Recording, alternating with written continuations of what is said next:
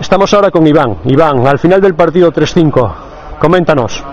Bueno, la primera parte ha sido un poco sosa, sin mucho aliciente, en el que nos vimos superados rápido por un gol que vino así sin, sin contar con él.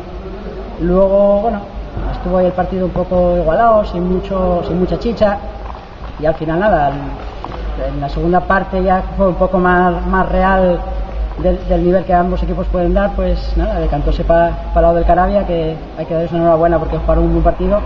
Nosotros estuvimos ahí, estuvimos ahí tanteando el, el partido, pero al final en una jugada prácticamente tonta en la que, que es que se te van los partidos, eh, con, un, con un saque de falta muy rápido por parte de ellos, cosa que hay que felicitarles porque son el fútbol también lleva listos, pues luego nada, ellas nos pusimos a perder de dos y luego hicimos lo que pudimos, pero luego ya se plantaron bien atrás y bien.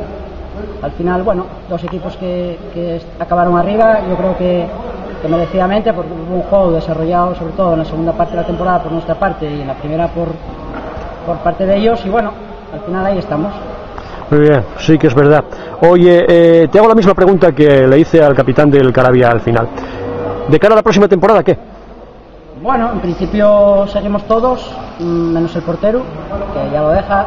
Y bueno, pues habrá que hacer algún fichaje porque andamos cortos de plantilla. Hay que mirar.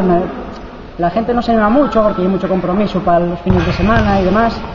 Pero bueno, eh, algo, algo vendrá, algo vendrá. A ver si se recupera Quique, eh, que fue una baja importante a lo largo de esta temporada.